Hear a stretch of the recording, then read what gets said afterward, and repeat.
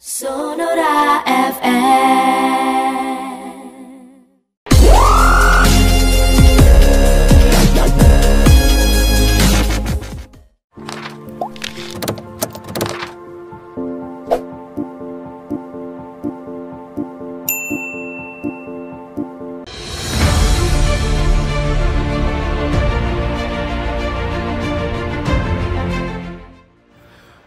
Mantan pesepak bola asal Prancis Samir Nasri baru-baru ini menjadi perbincangan warganet.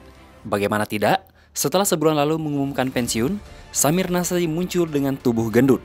Hal tersebut terlihat saat mantan punggawa Arsenal tersebut memperkuat Marseille Legends melawan tim UNICEF di sebuah laga amal yang digelar di Velodrome pada Rabu malam waktu setempat.